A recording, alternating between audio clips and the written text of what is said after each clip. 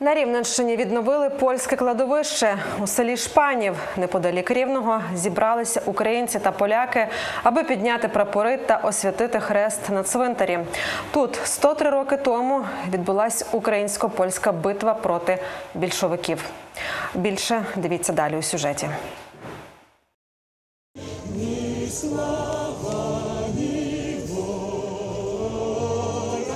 Так у Шпанові підняли два прапори український і польський. Відбулось це на польському кладовищі, яке раніше було у жахливому стані. Тепер його відновили. Ми, в принципі, працювали протягом е, довгого періоду-. Це було декілька місяців відновлення, порядкування цих робіт.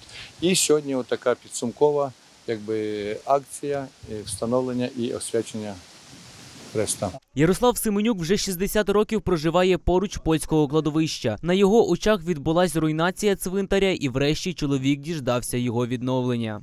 ще 15 років назад я виступав і казав, давайте ми відновимо цей цвинтар, тому що це наша місцева історія. Тут покояться люди, які дуже багато зробили для становлення цієї землі. Зокрема, е, е, Петро Пепловський збудував величний храм, костел, де зараз який перетворений в український, в український храм е, ПЦУ України.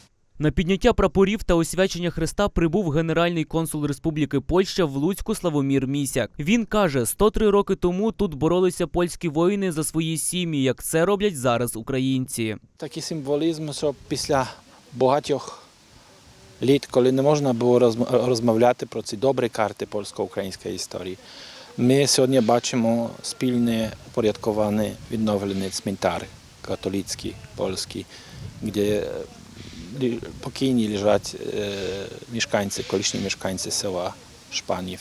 До відновлення кладовища доєднався Криштоф Тифель, поляк, який воював за Україну та поклав життя під Бахмутом. В честь нього у Шпанові назвали вулицю. Але ми тут познайомились саме на Шпанівському цвинтарі. Він був відкритою, цікавою, він цікавився історією. І ось на наступний день казав, я їду на схід.